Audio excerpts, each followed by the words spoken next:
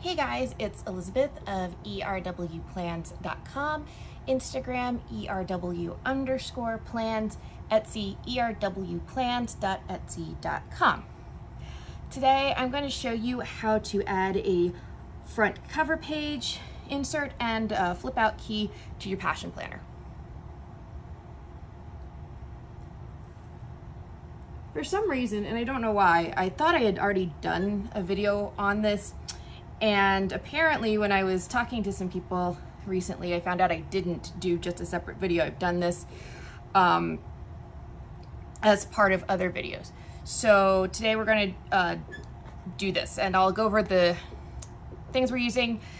Uh, we have our tools for today, pencil, E6000 glue, which I've used many times in videos, uh, the vertical key from my shop, uh, regular old printer paper, uh, craft paper, a T-square, and of course, passion planner.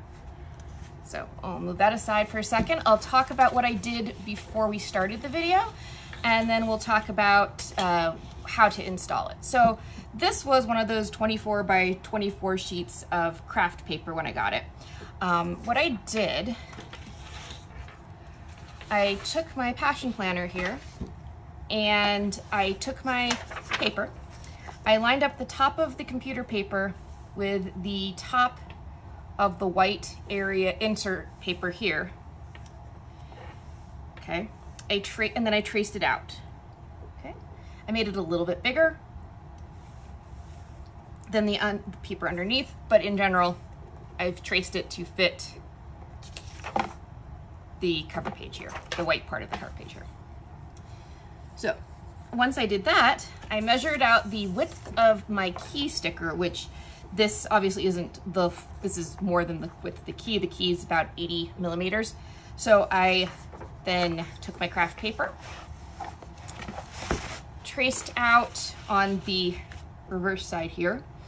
Um, I traced out my template that I had made, like so. And then I added about 90 millimeters of width over here, so I'd have a little bit of a border around it. Uh, I took an X-Acto, with, traced it with pencil, cut it out with my X-Acto knife. And what we're gonna do now is install the paper. Now there's two ways you could install it. You could install it with the design side down, so that when it's closed, you see this little bit of a design here. And when it's flipped open, you just don't see any design at all. I'm gonna do it the exact opposite. I wanna see the design here. And then when it's closed, I won't, I'll just have this part here and I can put other, you know, stickers on it that would usually go on the cover of my planner, that kind of thing. So what we're gonna do now is we're going to take our E6000 glue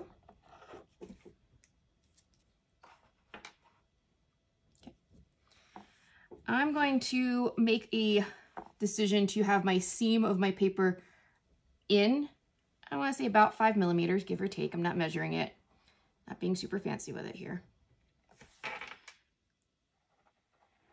And I'm just going to do this right along the edge of the white paper.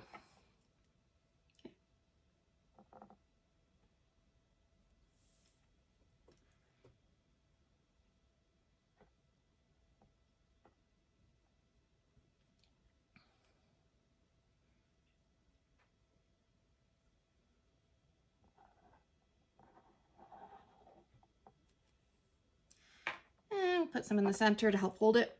I like to do a big X across the center.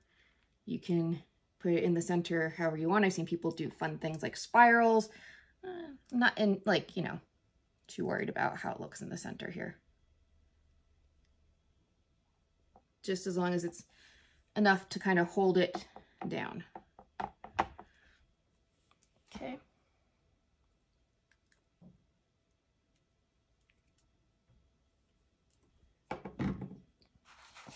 Now, like I said, we're having design side out.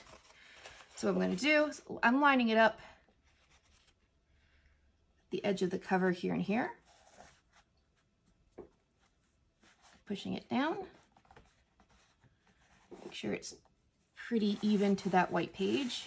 press it all the way out. Like so. Okay. Now, if you were, if you weren't going to do the flip out key, if you were just going to have a uh, paper, a liner in here, a page liner, then you would trace this to this size, cut it out, include the little corners, as I showed you here, and then you would just glue it in and you'd be done. We're adding a flip out key today.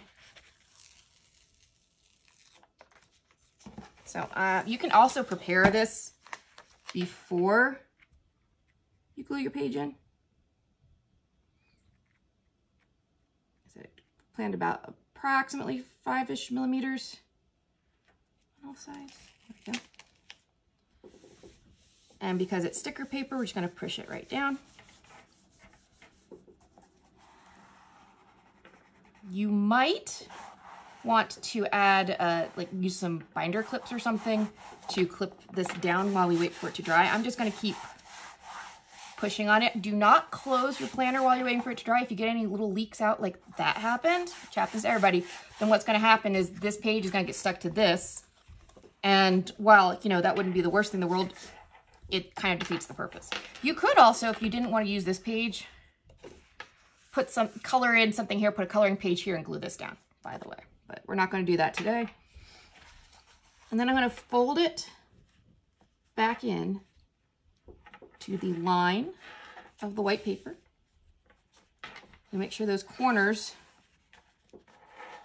don't show. If you are not using a craft store grade paper, and this, you can see this is pretty thick here. Um, if you're using a thinner paper uh, for your inside cover, if you've printed something off on your printer, like a coloring page or whatever, and you're doing this flip in, I strongly recommend reinforcing this seam on the inside and on the back with some washi tape. But if you're using a heavy kind of construction paper like this, this will last. My one I did last year is still holding up pretty well. So once that's dry, that is how it'll look. So when I'm doing my planning, I can have my key right here for while I'm planning, and then when I'm done planning, I can tuck it away. And that is how you add an interior liner with a flip out key to your passion planner.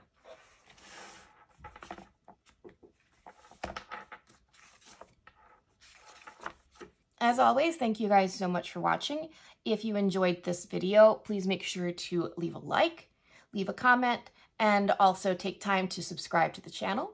Uh, we go live every Wednesday at 7 a.m. Mountain Time, but we also do occasional mini video drops in, during the week. So the best way to get notified of those new vi mini video drops is to subscribe. Uh, thank you again for watching and stay tuned for the next video.